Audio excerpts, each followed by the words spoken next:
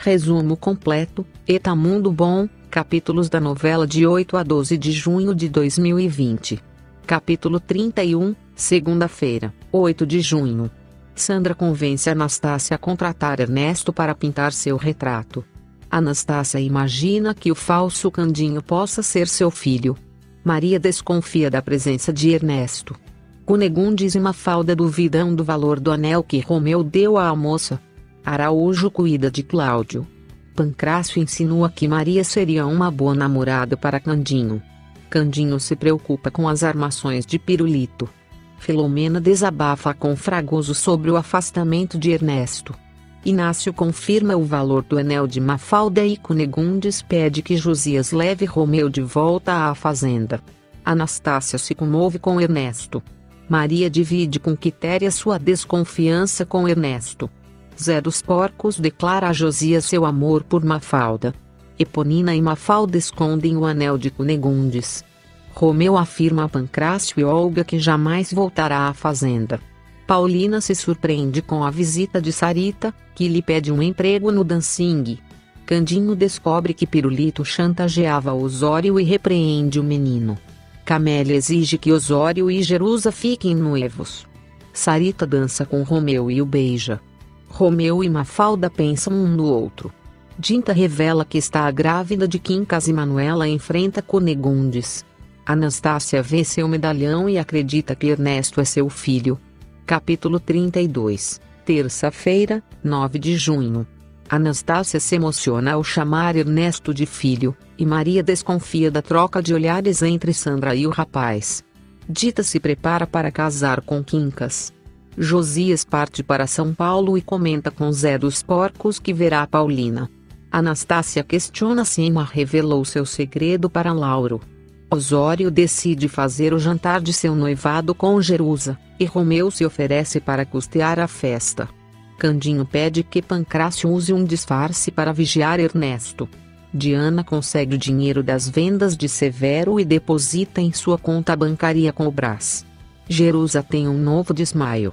Maria confronta Celso sobre Ernesto. Maria não é convencida pelas explicações de Celso sobre Ernesto e afirma que alertará Anastácia. Ernesto se muda para a casa de Anastácia e dorme com Sandra sem que ninguém perceba. Eponina aconselha Mafalda a desistir de Romeu. Quincas compra as alianças de seu casamento com Dita. Anastácia presenteia Ernesto com um carro. Pancrácio desconfia ao ver Ernesto dirigindo. Josias pede ajuda a Paulina para encontrar Romeu. Cláudio e Alice conversam. Camélia leva Jerusa ao médico. Cunegundes chantageia Dita. Anastácia acende uma vela em agradecimento por ter encontrado seu filho, mas estranha quando a chama se apaga. Amores, não esqueça de curtir, compartilhar e se inscrever. Se estiver gostando da novela, deixe nos comentários Eta Mundo Bom.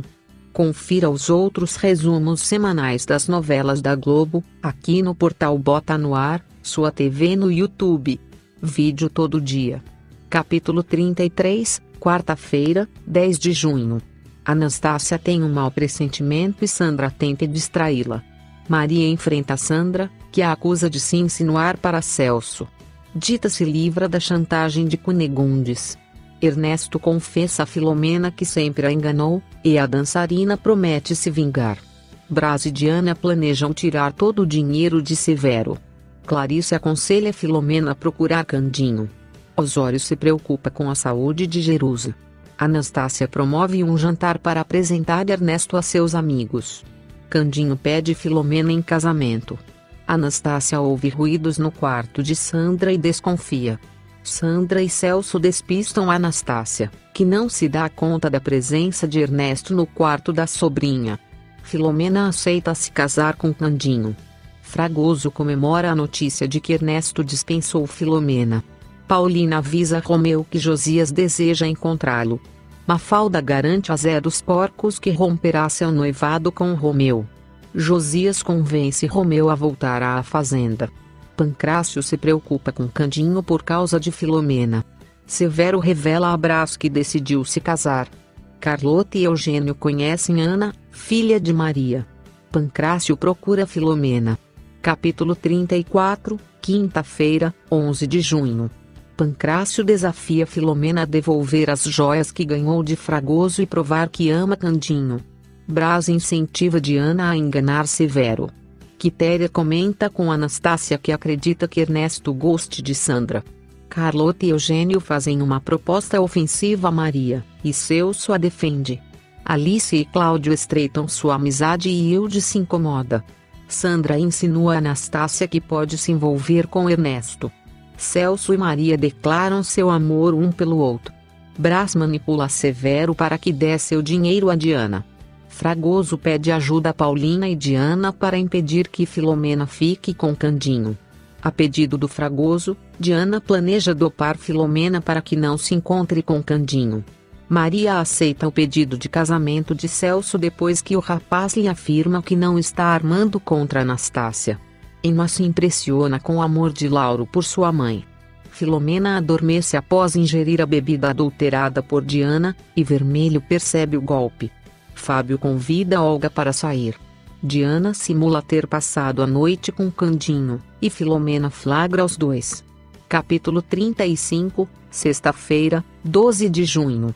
Filomena e Candinho trocam acusações e ofensas e terminam seu relacionamento. Pancrácio conforta Candinho. Braço repreende o comportamento de Diana. Anastácia comemora a intenção de Ernesto se unir a Sandra. Celso cobra sua quantia pela participação no plano de Sandra. Maria comenta com Anastácia que estranha o sotaque de Ernesto.